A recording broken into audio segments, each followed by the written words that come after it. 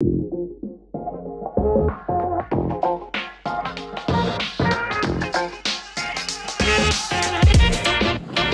はようございます、まっちゃんおはようございます。今日は久しぶりの長良川です。2ヶ月ぶりかな。約。あのようやく、まあ、鍵の貸し出しが再開されて、えー久しぶりの長良川のバスボートなんですけど毎年恒例のドリフトパーティー ドリフトクローのバックスライドでまあいつもねこの時期から全国各地で釣れるんですけどもそれをちょっと今日は長良川でジャッカルとね今年からモニターになったまっちゃんと一緒に2人でねカバーを打っていこうと思います。まあちょっとまっちゃん釣ろうか。了解です。まあすげえ久しぶりだからちょっと近場からやって全域的にいろいろチェックしていこう。そうだカニがすげえ出てくるからこの時期から。それをちょっとカニもいるかも見たい。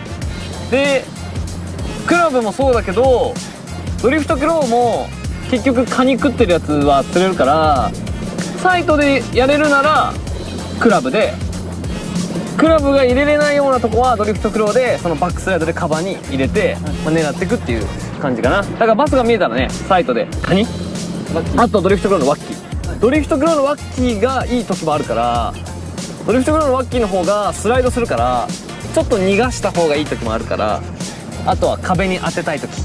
はいそれを使い分けてね。いやー楽しみだね。俺も久しぶりです。よそっからちょっとこう打つわ。いやードリフトクロの釣りやりたかったよ俺。めちゃめちゃ好きだからなバックスライド。フックはインフィニの40ナロ。ーケーブの方がカバーに入ってきやすいっていうのもあるんであとバームとの一体感がすごく好きなんで僕はリミットを使います。ちょっとあれだなもうそろそろ結構カニも出てきていいからザリガニカラーでいこうかな。ドリフトクローのバックスライドセッティング。でネイルシンカーを0.9 0.9を入れます。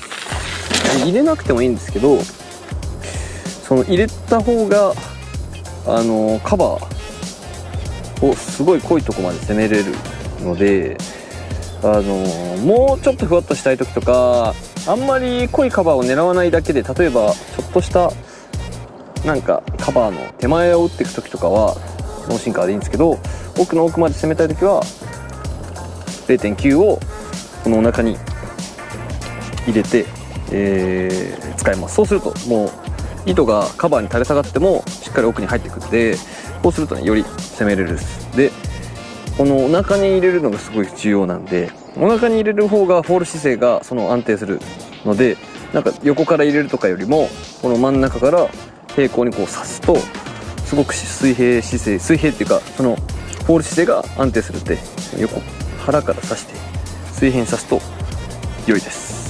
これでちょっと打ってきます。あとはバスが見えればワッキーカニとドリフトクロ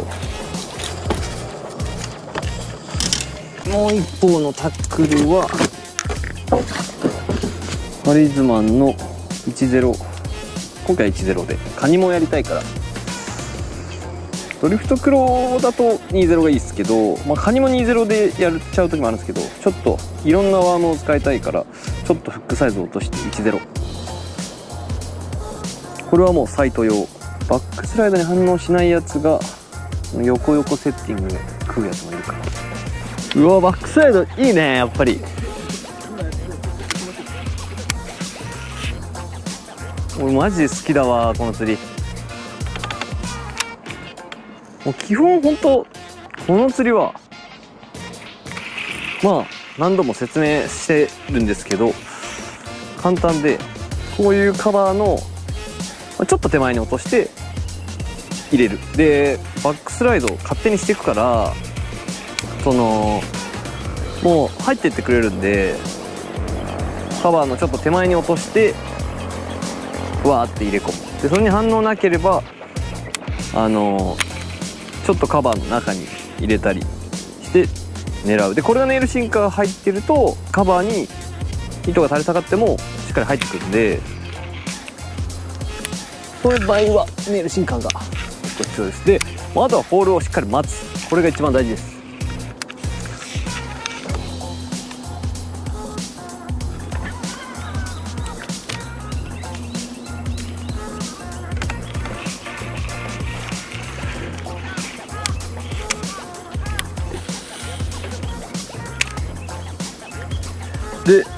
フォールして、まあ、ボトムまで着底させてでその着底させた後にちょっとこのぴょんぴょんってあの跳ね上げさせてエビが逃げるようなアクション。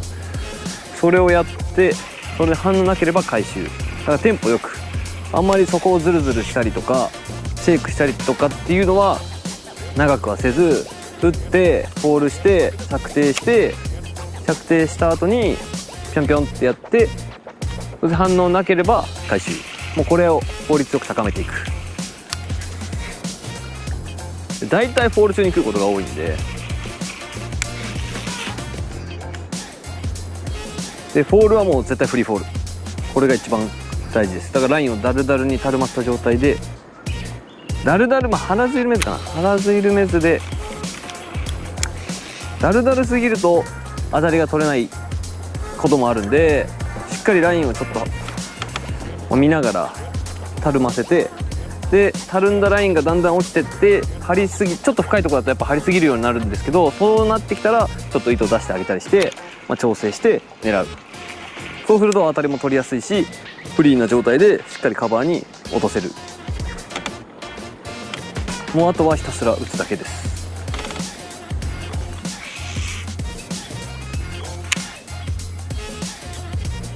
うわ釣れそう。うんって入っていく感じがたまらんわ。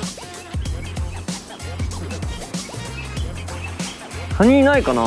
このでもね紐にめちゃ熱いと思うんやって。そうあれにまあこの紐についてるやつはモックスガニなんだけどちっちゃい。こういう根っこね。こういう根っこ。すげえごちゃごちゃってしたとこがめっちゃカニもいるしテナガエビもいるからこういうとこをしっかりバックサイドで狙う。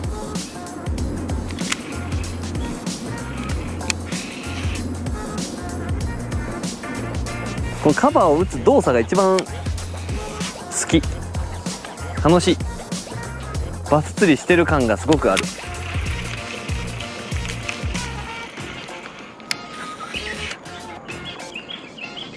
しやっぱ何よりキャストが楽しい。ね。このピッチングでカバーの中に入れ込むっていう。うん。これがすごく楽しい。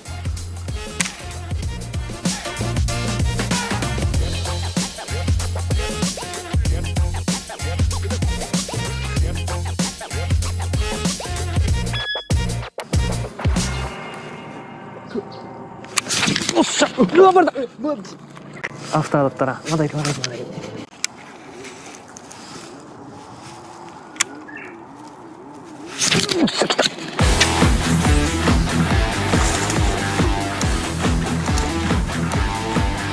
どれかどれ。かあこれこれこれ。これどうしたどうした。ほらおっしゃ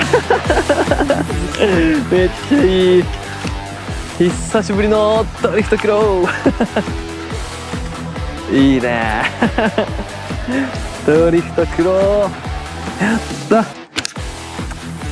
ドリフトクローバックスライド今のはノーシンカーノーシンカーで、えーカバー際をふわっと落として、まあ、ミニバスがいたんでそのミニバスの進行方向に投げて食わすなあバックスライド。やっぱいいね。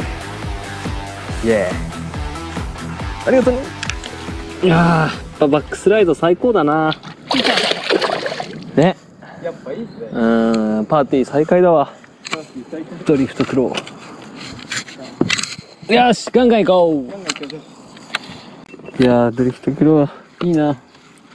何年経ってもこの釣りは。最高です。今のはなもう完全にノーシンカー別にちょっと糸を垂れ下がるようなとこもないしサイトだったんでちょっとめちゃくちゃふわっとさせたかったから脳シンカーで釣りました。まあそれはちょっと使い分けながらまだ釣っていこうかなと思います。でねバックスライドバックスライドうちのまあ欠かせないそのバックスライドを打つ場所としてはのねやっぱ足。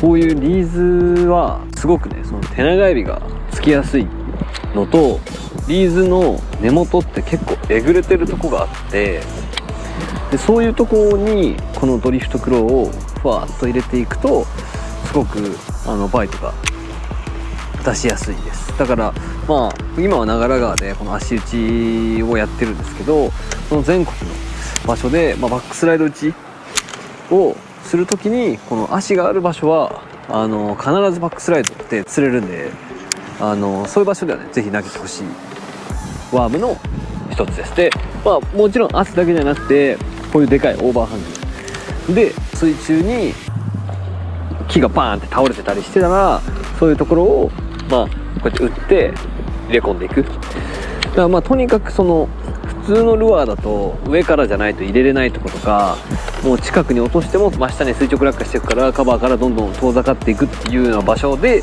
えーこういうバックサイドを使ってほしいです。でなおかつやっぱり高確率。もうこの釣りはもうエビありきの釣りでもあるんで本当にエビを食ってるバスが多い場所で送った。おっしゃあバレた。バレた。あー。解説中に食った。うわー。いきなり出てきて食ったのにバレたよ。いや惜しかったな。今のもねこの足とオーバーハングが絡む場所でのバイト。でこのカバー打つ時にすげえ大事なのがこれはまあ別にバックスライドの釣りとかじゃなくて普通の川打ちですごく大事なことなんですけどこのまあ足はもちろん釣れるんですけどこのいっぱいある中でもこういう例えばいいきなりでかいオーバーハングがドーンって出てきてそれがなおかつ水中まであったりとかその足プラス何かオーバーハングプラス何かっていうものが出てくるとすごくバスがそこにつく確率が高くなるんでプラス要素でカバーを打つ時に探しながら打つとより釣れると。思います。だから今なんかほんとこの急に出てきてそこにバスもいてでドリフトクローを入れたらもうホールで食うみたいな。惜しかった。いや完全にエビ食いだわ今のはもう。食い方が。あのエビがピピって逃げてで逃げたやつをピッて食うやつが多いんだけどそういう食い方だったもう今のは。たまらんやつ。楽しい。楽しいね。本当に楽しいよねこの釣りはね。意味が浮かぶよね。こういうちょっともじゃっとしたとこは釣れそうだよね。このねもじゃにエビとカニがめっちゃつくから。うん。なんか根っこ？根っこがすげえ好きだからカニ。なんかあリーズもいるんだけどこうなんか根っこ系がね多いうんすごい根っこに黒弁慶がいるから。黒弁慶食いが釣れる。あとこのバックスライドでドリフトクローを打つ時にファーストキャストでルアーを向かせる向きがすごく大事でちょっと投げた時にルアーの姿勢が着底した瞬間にちょっと崩れちゃう時があるんでねちょっと水につけた時にちょっと引っ張ってあげてから落とすとよりその綺麗に向こうに行きやすくなるんであのちょっとこうやって打つ時にやばいちょっと姿勢変わったなと思ったらちょっと気持ちこっちに引っ張ってからフリーにする。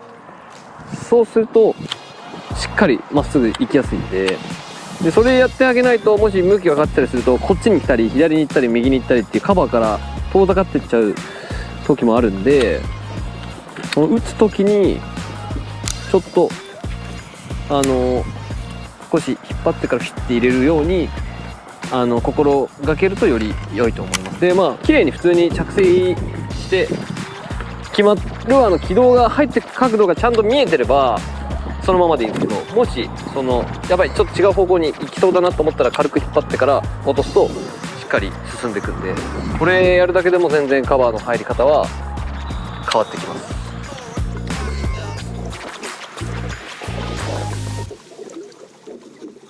オ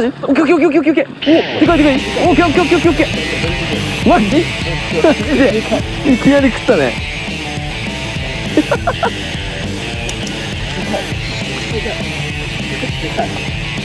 頼むよ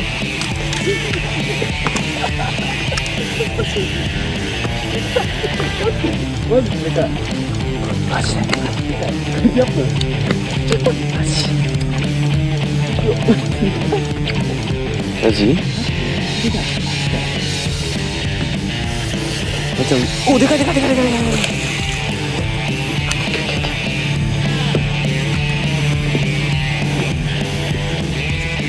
1トン目ちゃう漁師って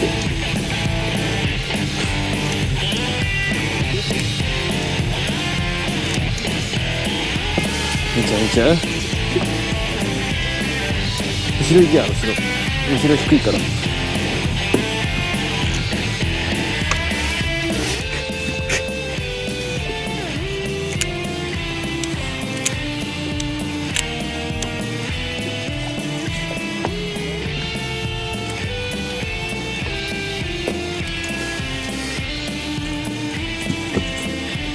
オッケーめっちゃいいバスじゃんいいねうんいいバスだお前何ホップードしたら食ってたマジで。いいね。舐めますたね夕方。やっぱシャローに入ってきたかね。ドリフトクロー脳進化のしえー、0.9ぐらい。0.9いいね。ナイスフィッシめっちゃ低っすねだから。ュ長良のバスめっちゃ低いよね。牙やばいっす。歯ザラザラこいつうん。エビ食いだね。うん。グッバイめっちゃ低い。よ。超低いよね。俺50トンってたの50全然なかっ入ってきたなシャローにこれは夕方のドリフトパーティータイムが始まるぞ。ちょっとガンガン打ってこう。あこれバスじゃない？あ逃げた。最悪起きた。おっしゃ。おらー。しゃドリフトクローきたー。反転して食ってきたよまた。やったね。ドリフトクローで本日まっちゃんと合わせて3本目。今のも脳進カーで足際に投げて一回バスまた見えてでそのまま落としてったらまたバスが戻って食ってきました。やった。バックスライドゲーム。イエーイ。いいね。じゃあねー。バイバイ。オッケー。いいねバックスライド。お疲れ様でした。まあ今日はドリフトクロー。オンリー。まあ、ちょっとカニも使ったんですけど基本はもうドリフトクロー、えーバックスライドセッティングでまっちゃんと一緒に、えー長良川をやって、まあ、バイト的にはポロポロあったんですけど取れた魚としては3匹。でまあでも全部ねドリフトクローで、えー釣れてまあこれからねもっともっと良くなってくる釣りですしやっぱカニはあのーワッキーでノーシンカーでやったりジグヘッドワッキーでやったり、えーもしくはリーダーレスとかそういうフリーリグとかのオフセットでもやったりするんですけどドリフトクローはもうドリフトクラブとは全く違う使い方です。もうほんとバックスライドでカバーを打つっていうシンプルな釣り方なんであのー、本当ねそういうクラブでは攻めれないようなとこは、えーこういうドリフトクローをカバーに打ち込んでい、えー行ってあげればそのねふわっとしたものが好きなバスがすごく釣れるので、えーこのねドリフトクロー今からもう手長エビとかカニとかいっぱい出てきたら、えーそういうカバーにバックサイドに入れて、えーたくさん釣れると思いますので皆さんもねドリフトクローぜひ使ってください。まっちゃんお疲れ様でした。お疲れ様です。上がろうか